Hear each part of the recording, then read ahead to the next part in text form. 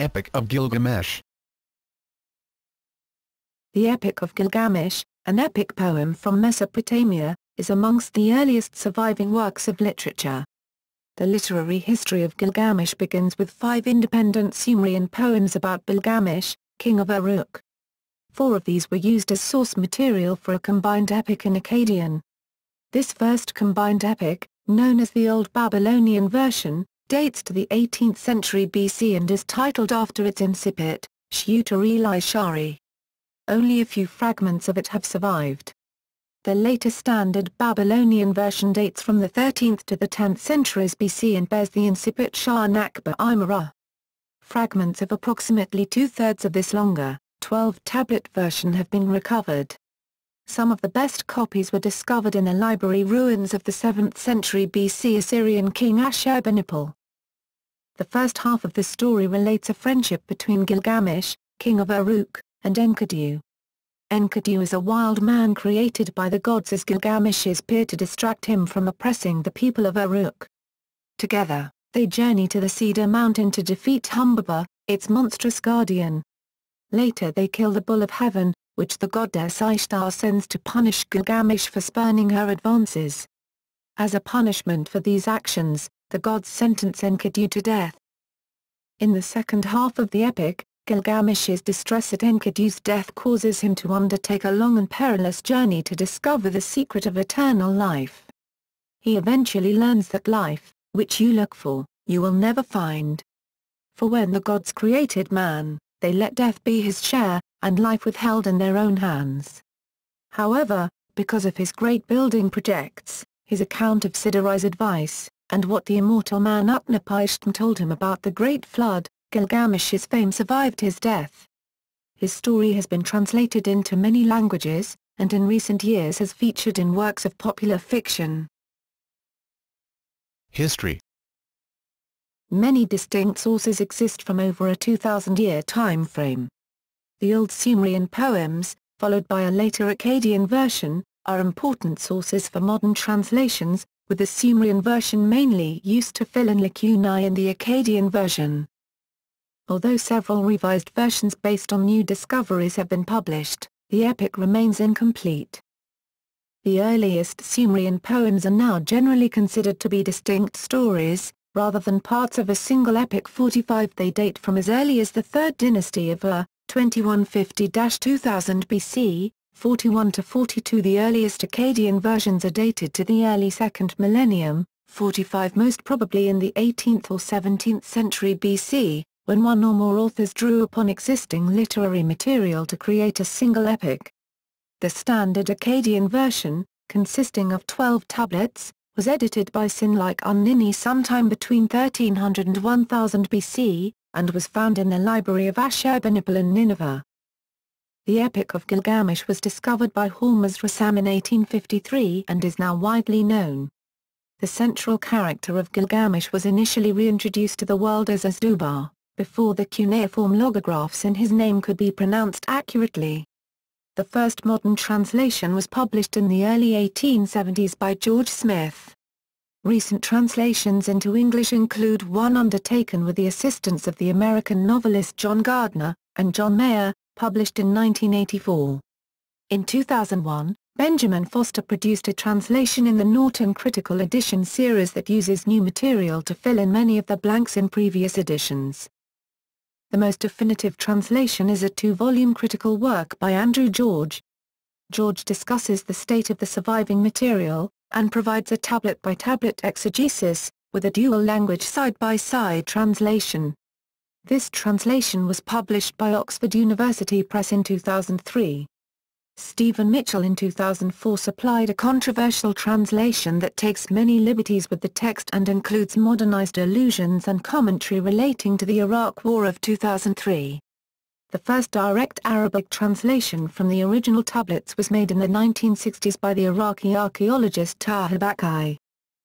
The discovery of artifacts, circa 2600 BC, associated with Enmebaragesi of Kish, mentioned in the legends as the father of one of Gilgamesh's adversaries, has lent credibility to the historical existence of Gilgamesh 40-41. Versions of the epic From the diverse sources found two main versions of the epic have been partially reconstructed, the standard Akkadian version, or He Who Saw the Deep, and the Old Babylonian version, or Surpassing All Other Kings. Five earlier Sumerian poems about Gilgamesh have been partially recovered, some with primitive versions of specific episodes in the Akkadian version, others with unrelated stories. Standard Akkadian version The standard version was discovered by Hormuzd Rassam in the library of Ashurbanipal in Nineveh in 1853. It was written in Standard Babylonian, a dialect of Akkadian that was used for literary purposes. This version was compiled by Sîn-lēqi-unninni sometime between 1300 and 1000 BC from earlier material. The standard version, and earlier version, have different opening words, or incipit. The older version begins with the words surpassing all other kings, while the standard version has he who saw the deep, Sha naqba īmuru, deep referring to the mysteries of the information brought back by Gilgamesh from his meeting with Utanapishti, Utnapishtim, about Ea, the fountain of wisdom. Gilgamesh was given knowledge of how to worship the gods, why death was ordained for human beings, what makes a good king, and how to live a good life.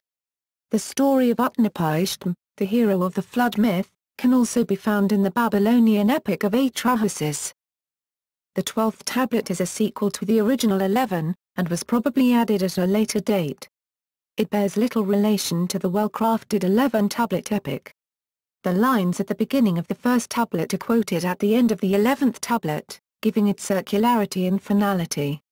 Tablet 12 is a near copy of an earlier Sumerian tale, a prequel, in which Gilgamesh sends Enkidu to retrieve some objects of his from the underworld, and he returns in the form of a spirit to relate the nature of the underworld to Gilgamesh. Content of the Standard Version Tablets Tablet 1 The story introduces Gilgamesh, king of Uruk. Gilgamesh, two-thirds god and one-third man, is oppressing his people, who cry out to the gods for help. For the young women of Uruk this oppression takes the form of a droit du seigneur, or lord's right to sleep with brides on their wedding night. For the young men, the tablet is damaged at this point, it is conjectured that Gilgamesh exhausts them through games, tests of strength, or perhaps forced labor on building projects. The gods respond to the people's pleas by creating an equal to Gilgamesh who will be able to distract him. This is the primitive man, Enkidu, who is covered in hair and lives in the wild with the animals. He is spotted by a trapper, whose livelihood is being ruined because Enkidu is uprooting his traps. The trapper tells Gilgamesh about the man, and it is arranged for Enkidu to be seduced by Shamhat, a temple prostitute his first step towards being tamed, and after seven days of love-making, she takes him back to Uruk. Gilgamesh, meanwhile, has been having dreams about the imminent arrival of a beloved new companion. Tablet 2 Shamhat brings Enkidu to a shepherd's camp, where he is introduced to a human diet and becomes the night watchman. Learning from a passing stranger about Gilgamesh's treatment of new brides, Enkidu is incensed and travels to Uruk to intervene at a wedding. When Gilgamesh attempts to visit the wedding chamber, Enkidu blocks his way, and they fight. After a fierce battle, Enkidu acknowledges Gilgamesh's superior strength and they become friends. Gilgamesh proposes a journey to the Cedar Forest to slay the monstrous demigod Humbaba, in order to gain fame and renown. Despite warnings from Enkidu and the Council of Elders, Gilgamesh will not be deterred. Tablet 3 The elders give Gilgamesh advice for his journey. Gilgamesh visits his mother, the goddess Ninsun, who seeks the support and protection of the sun god Shamash for their adventure. Ninsun adopts Enkidu as her son, and Gilgamesh leaves instructions for the governance of Uruk in his absence. Tablet 4 Gilgamesh and Enkidu journey to the cedar forest. Every few days they camp on a mountain, and perform a dream ritual. Gilgamesh has five terrifying dreams about falling mountains, thunderstorms, wild bulls, and a thunderbird that breathes fire. Despite similarities between his dream figures and earlier descriptions of Humbaba, Enkidu interprets these dreams as good omens, and denies that the frightening images represent the forest guardian. As they approach the Cedar Mountain, they hear Humbaba bellowing, and have to encourage each other not to be afraid. Tablet 5. The heroes enter the cedar forest. Humbaba, the ogre guardian of the cedar forest, insults and threatens them. He accuses Enkidu of betrayal, and vows to disembowel Gilgamesh and feed his flesh to the birds. Gilgamesh is afraid, but with some encouraging words from Enkidu the battle commences. The mountains quake with a tumult and the sky turns black. The god Shamash sends thirteen winds to bind Humbaba, and he is captured. The monster pleads for his life, and Gilgamesh pities him. Enkidu, however, is enraged and asks Gilgamesh to kill the beast. Humbaba curses them both and Gilgamesh dispatches him with a blow to the neck.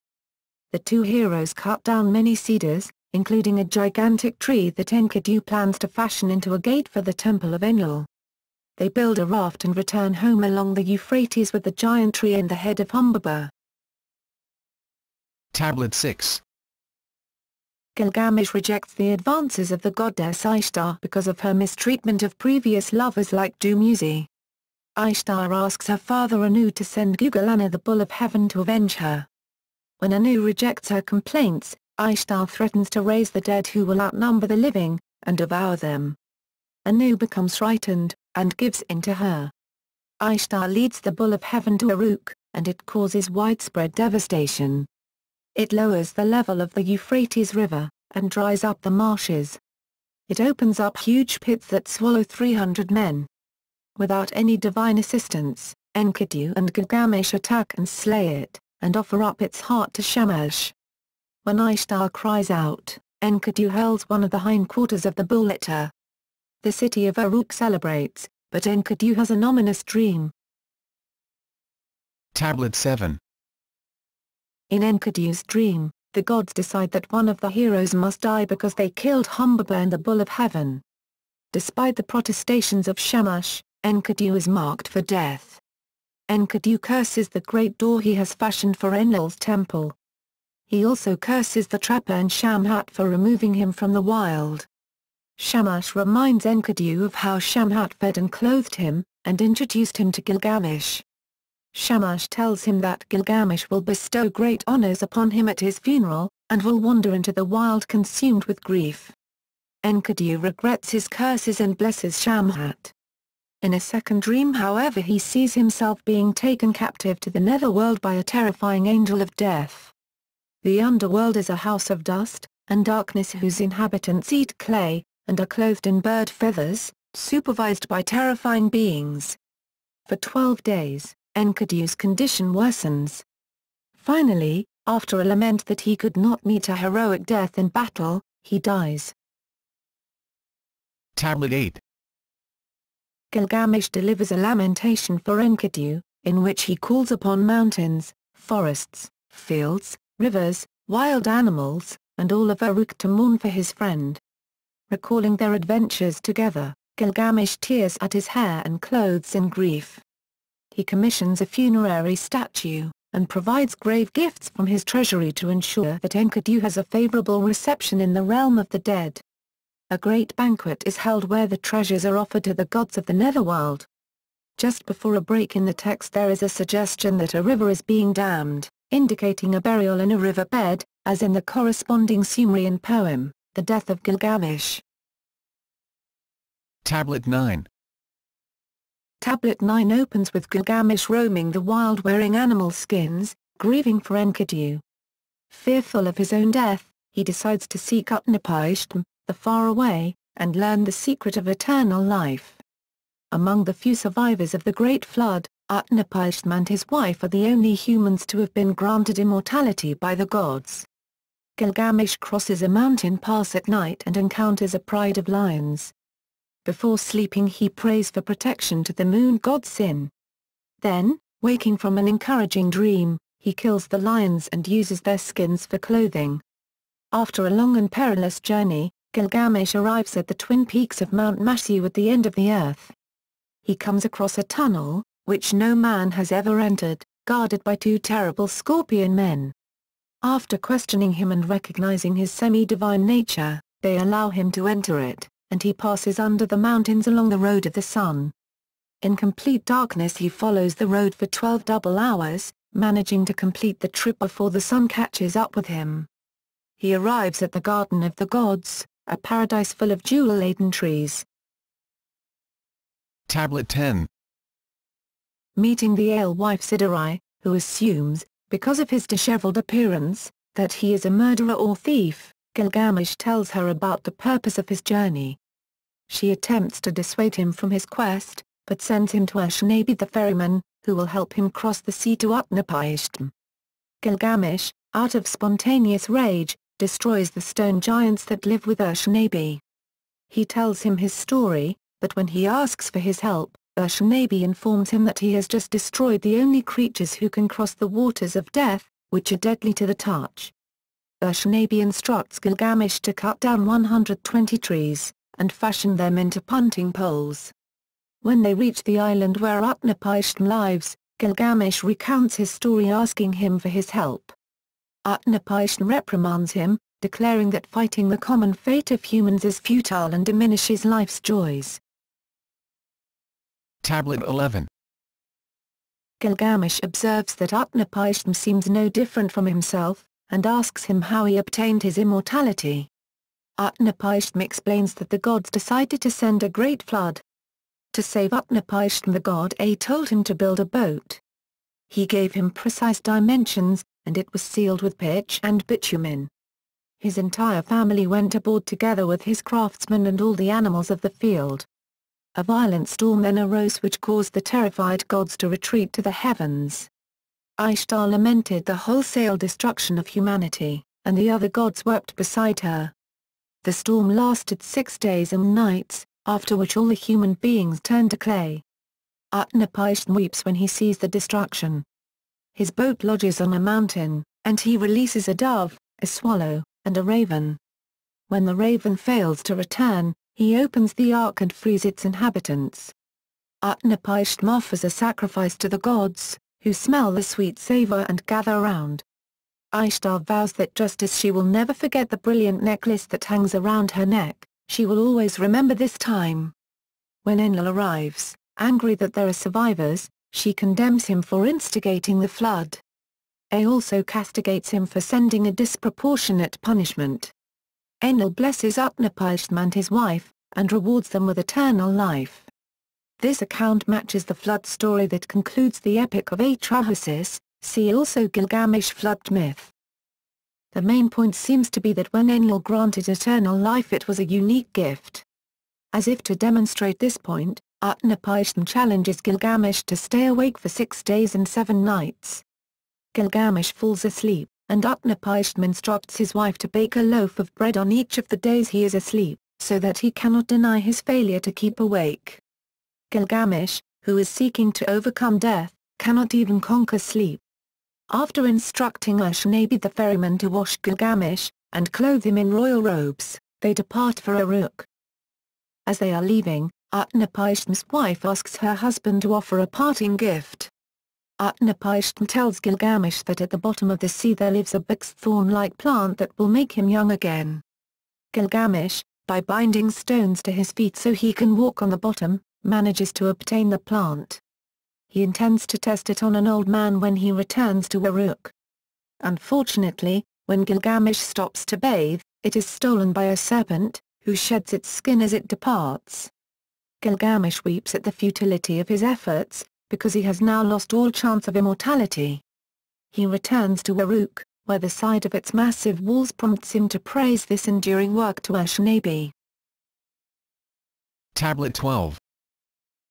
This tablet is mainly an Akkadian translation of an earlier Sumerian poem, Gilgamesh and the Netherworld, also known as Gilgamesh, Enkidu, and the Netherworld, and variants, although it has been suggested that it is derived from an unknown version of that story 42 the contents of this last tablet are inconsistent with previous ones. Enkidu is still alive, despite having died earlier in the epic. Because of this, its lack of integration with the other tablets, and the fact that it is almost a copy of an earlier version, it has been referred to as an inorganic appendage to the epic. Alternatively, It has been suggested that its purpose, though crudely handled, is to explain to Gilgamesh, and the reader, the various fates of the dead in the afterlife, and in an awkward attempt to bring closure, it both connects the Gilgamesh of the epic with the Gilgamesh who is the king of the netherworld, and is a dramatic capstone whereby the 12-tablet epic ends on one and the same theme, that of seeing, equals understanding, discovery, etc., with which it began. Gilgamesh complains to Enkidu that various of his possessions, the tablet is unclear exactly what, different translations include a drum and a ball, have fallen into the underworld. Enkidu offers to bring them back. Delighted, Gilgamesh tells Enkidu what he must and must not do in the underworld if he is to return. Enkidu does everything which he was told not to do. The underworld keeps him. Gilgamesh prays to the gods to give him back his friend. Enlil and Suen don't reply, but Ea and Shamash decide to help. Shamash makes a crack in the earth, and Enkidu's ghost jumps out of it. The tablet ends with Gilgamesh questioning Enkidu about what he has seen in the underworld. Old Babylonian versions. This version of the epic, called in some fragments surpassing all other kings, is composed of tablets and fragments from diverse origins and states of conservation. It remains incomplete in its majority, with several tablets missing and bigger lacunae in those found. They are named after their current location or the place where they were found. Pennsylvania Tablet. Surpassing all other kings Tablet 2, greatly correlates with Tablets I2 of the standard version. Gilgamesh tells his mother Ninsun about two dreams he had. His mother explains that they mean that a new companion will soon arrive at Uruk. In the meanwhile the wild Enkidu and the priestess, here called Shamkartam, are making love. She tames him in company of the shepherds by offering him bread and beer. Enkidu helps the shepherds by guarding the sheep. They travel to Uruk to confront Gilgamesh and stop his abuses. Enkidu and Gilgamesh battle but Gilgamesh breaks off the fight. Enkidu praises Gilgamesh. Yale Tablet. Surpassing all other kings Tablet 3, partially matches Tablets 2-3 of the standard version. For reasons unknown, the tablet is partially broken, Enkidu is in a sad mood. In order to cheer him up Gilgamesh suggests going to the pine forest to cut down trees and kill Humbaba, known here as Uwa. Enkidu protests, as he knows Uwa and is aware of his power. Gilgamesh talks Enkidu into it with some words of encouragement, but Enkidu remains reluctant. They prepare, and call for the elders. The elders also protest, but after Gilgamesh talks to them, they agree to let him go. After Gilgamesh asks his god, Shamash, for protection and both equip, they leave with the elders' blessing and counsel. Philadelphia Fragment. Possibly another version of the contents of the Yale tablet, practically irrecoverable. Nippur School Tablet. In the journey to the cedar forest and Uawa, Enkidu interprets one of Gilgamesh's dreams. Tell Harmal Tablets. Fragments from two different versions tablets tell how Enkidu interprets one of Gilgamesh's dreams on the way to the forest of cedar, and their conversation when entering the forest. Ishchali Tablet. After defeating Uawa, Gilgamesh refrains from slaying him, and urges Enkidu to hunt Uawa's seven auras. Enkidu convinces him to smite their enemy. After killing Uawa and the auras, they chop down part of the forest and discover the god's secret abode. The rest of the tablet is broken. The auras are not referred to in the standard version, but are in one of the Sumerian poems. Partial fragment in Baghdad. Partially overlapping the felling of the trees from the Ishchali tablet. Sippar Tablet. partially overlapping with the standard version tablets 9x.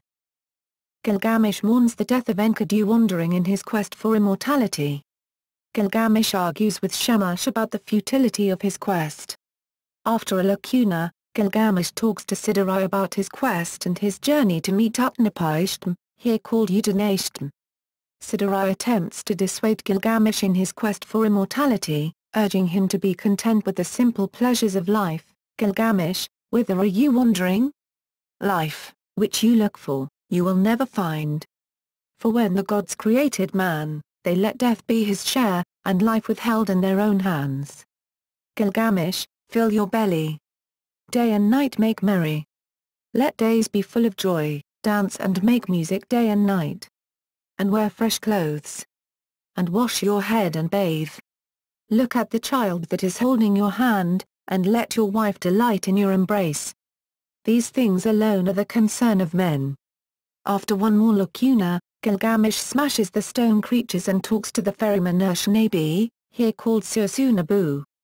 After a short discussion, Sursunabu asks him to carve 300 oars so that they may cross the waters of death without needing the stone ones. The rest of the tablet is missing. The text on the Old Babylonian Meissner fragment, the largest surviving fragment of the Sippar tablet, has been used to reconstruct possible earlier forms of the Epic of Gilgamesh, and it has been suggested that a prior form of the story, earlier even than that preserved on the Old Babylonian fragment, may well have ended with Siduri sending Gilgamesh back to Uruk. And Utnapishtim was not originally part of the tale. Sumerian poems. There are five extant Gilgamesh stories in the form of older poems in Sumerian. These probably circulated independently, rather than being in the form of a unified epic. Some of the names of the main characters in these poems differ slightly from later Akkadian names, for example. Bilgamesh is written for Gilgamesh, and there are some differences in the underlying stories, for example in the Sumerian version Enkidu is Gilgamesh's servant. The Lord to the Living One's Mountain and Ho, Hurrah! correspond to the Cedar Forest episode, standard version tablets 2v. Gilgamesh and Enkidu travel with other men to the Forest of Cedar. There, trapped by Uar, Gilgamesh tricks him, with Enkidu's assistance in one of the versions, into giving up his auras, thus losing his power. Hero in Battle corresponds to the Bull of Heaven episode, standard version tablet 6, in the Akkadian version. The bull's voracious appetite causes drought and hardship in the land while Gilgamesh feasts. Lugalbanda convinces him to face the beast and fights it alongside Enkidu. The Envoys of Akka has no corresponding episode in the epic, but the themes of whether to show mercy to captives, and counsel from the city elders, also occur in the standard version of the Humbaba story. In the poem, Uruk faces a siege from a Kish army led by King Akka, whom Gilgamesh defeats and forgives. In those days, in those far-off days is the source for the Akkadian translation included as Tablet 12 in the standard version, telling of Enkidu's journey to the netherworld. The Great Wild Bull is lying down, a poem about Bilgame's death, burial and consecration as a semi-god, reigning and giving judgment over the dead. After dreaming of how the gods decide his fate after death, Gilgamesh takes counsel, prepares his funeral and offers gifts to the gods. Once deceased, he is buried under the Euphrates, taken off its course and later returned to it. Relationship to the Bible. Various themes, plot elements, and characters in the Epic of Gilgamesh have counterparts in the Book of Genesis, notably the accounts of the Garden of Eden and Noah's flood. The parallels between the stories of Enkidu Shamhat and Adam Eve have been long recognized by scholars. In both, a man is created from the soil by a god, and lives in a natural setting amongst the animals. He is introduced to a woman who tempts him. In both stories the man accepts food from the woman, covers his nakedness, and must leave his former realm, unable to return. The presence of a snake that steals a plant of immortality from the hero later in the epic is another point of similarity. Andrew George submits that the flood myth in Genesis 6-8 matches that in Gilgamesh so closely that few doubt that it derives from a Mesopotamian account. What is particularly noticeable is the way the Genesis flood story follows the Gilgamesh flood tale point by point and in the same order, even when the story permits other alternatives. In a 2001 Torah commentary released on behalf of the conservative movement of Judaism, rabbinic scholar Robert Wexler stated, the most likely assumption we can make is that both Genesis and Gilgamesh drew their material from a common tradition about the flood that existed in Mesopotamia. These stories then diverged in the retelling. Other parallels Matthias Henze suggests that Nebuchadnezzar's madness in the biblical book of Daniel draws on the Epic of Gilgamesh. He claims that the author uses elements from the description of Enkidu to paint a sarcastic and mocking portrait of the king of Babylon. Many scholars note an influence on the Book of Ecclesiastes. The speech of Siduri in an Old Babylonian version of the epic is so similar to Ecclesiastes 9-7-10 that direct influence is a possibility. A rare proverb about the strength of a triple-stranded rope is common to both books. Influence on Homer Numerous scholars have drawn attention to various themes, episodes, and verses, that indicate a substantial influence of the Epic of Gilgamesh on both of the epic poems ascribed to Homer. These influences are detailed by Martin Litchfield West in the East Face of Helicon, West Asiatic Elements in Greek Poetry and Myth According to Tzvi Abusch of Brandeis University, the poem combines the power and tragedy of the Iliad with the wanderings and marvels of the Odyssey. It is a work of adventure, but is no less a meditation on some fundamental issues of human existence. In popular culture The Epic of Gilgamesh has inspired many works of literature, art, music, as Theodore Ziolkowski points out in his book Gilgamesh Among Us, Modern Encounters with the Ancient Epic, 2011. It was only after the First World War that the Gilgamesh epic reached a wide audience, and only after the Second World War that it began to feature in a variety of genres.